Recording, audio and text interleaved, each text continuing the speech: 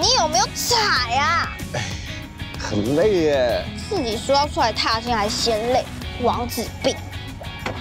他们烤肉就在这附近，烤完肉再骑天的船，应该 OK 吧？会不会太老套？爱情萌芽不是都这样子的吗？在刻意制造浪漫的景点上，努力创造出属于自己的故事。也是哦。这个天鹅船真的一点都不浪漫，超累的。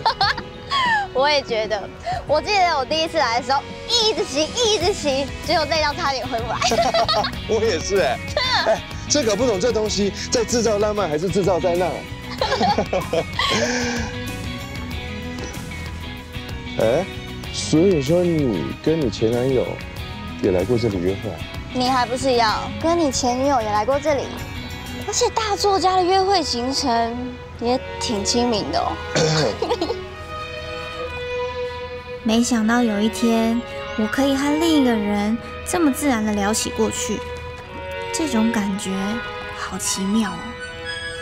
小弟，谁呀？我，小心！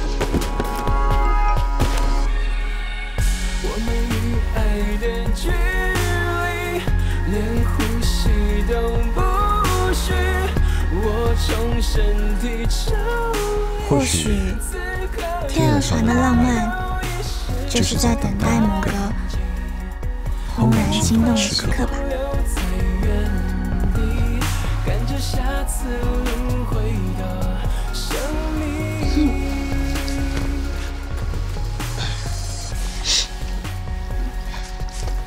不知道这附近还有什么景点哈？哦，我听说好像每天晚上六点，每半个小时都有水舞秀表演。要不然我们待会儿去附近逛逛，晚上再回来看。好啊。赶快踩啊！你也是，给我用力踩，踩超累的。